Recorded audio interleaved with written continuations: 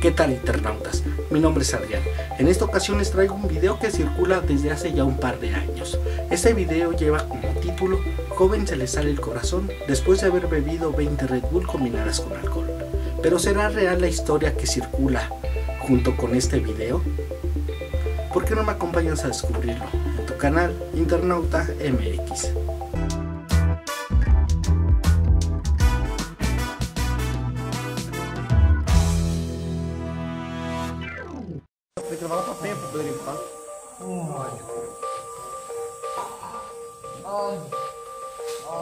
Fica parado. Calma, calma, guerreiro. Vai melhorar, guerreiro. Calma aí, irmão. Calma. Gente sabe que é ruim, mas vai melhorar. Calma, calma. Você tem que relaxar, cara.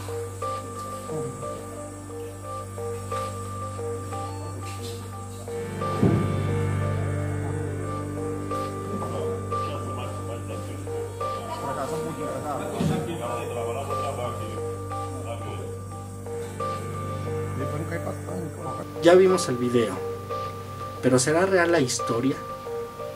¿Qué hay detrás de este video? ¿Qué circunstancias son las que están pasando? Vamos a ver qué descubrimos navegando por la red. En el video podemos observar que tiene un collarín, seguramente para inmovilizar la zona cervical. El pecho está deformado en el lado superior izquierdo por un golpe, y el cual tiene un color rojizo, seguramente la víctima sufre ruptura de más de una costilla. Con esto se crea un tórax inestable, dejando al descubierto el corazón, algo muy grave, ya que le puede producir un rasgamiento al órgano al igual que los pulmones, por los movimientos de las costillas a causa de los latidos del corazón. Buscando información en un sinfín de fuentes para descubrir qué hay detrás de este caso, pudimos dar con un video que posiblemente sea el original y lleva como título Neumotórax. Neumotórax o colapso pulmonar ocurre cuando el aire escapa del pulmón. El aire luego llena ese espacio por fuera del pulmón, entre este y la pared torácica. Esta acumulación de aire ejerce presión sobre el pulmón, así que este no se puede expandir tanto como lo hace normalmente. ¿Pero qué causa un neumotórax de este tipo? El colapso pulmonar puede ser causado por una lesión al pulmón.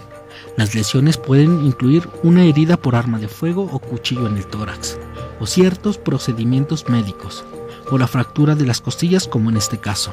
Con estos datos y la información proporcionada por algunos internautas en redes sociales fue como supimos que la causa del tórax inestable o bolet costal de esta persona sea un accidente automovilístico. Para confirmar esta teoría buscamos más videos relacionados con este tipo de accidentes.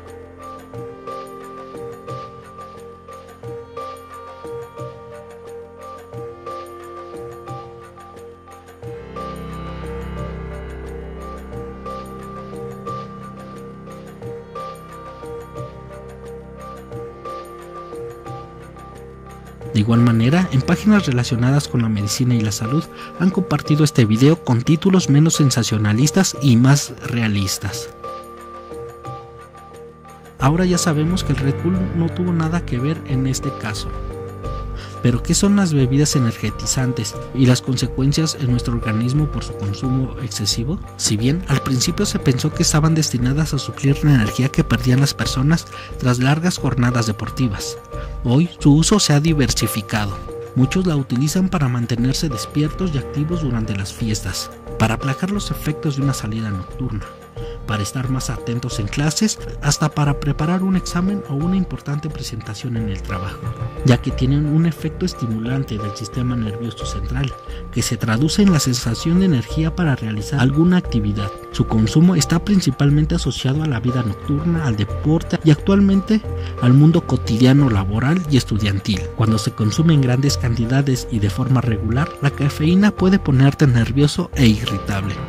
El consumo excesivo de estos productos tiene consecuencias graves a nuestro organismo, ya que la cafeína es un diurético y provocan que los riñones eliminen fluidos extras de su organismo y puedan provocar deshidratación severa. Pero ¿qué pasa si combinas los energetizantes con el alcohol? Si las combinas con alcohol te hace sentir alerta y enérgico, incluso cuando estás borracho. Tienes la falsa sensación de control y sobriedad, manteniendo falsamente equilibrado el funcionamiento orgánico y corporal en los límites máximos de tolerancia. Pero también podría pasarte lo peor, ya que esta combinación te permite llegar a un estado de ebriedad sin conciencia, incluso a un coma alcohólico, porque te retrasa los efectos del alcohol. Los médicos coinciden que es un error llamarlos energetizantes y más bien deberían llamarlos estimulantes. Regresando al video del tórax inestable, en Brasil corre otra historia alrededor de este video ya que muchos creen que se trata del cantante brasileño Cristiano Araujo, quien falleció en un accidente en el año 2015. Pero con la información que recabamos también podemos asegurar y descartamos la posibilidad de que no se trate de aquel artista sudamericano, ya que posiblemente confunden el video del neumotórax con el grabado durante su autopsia.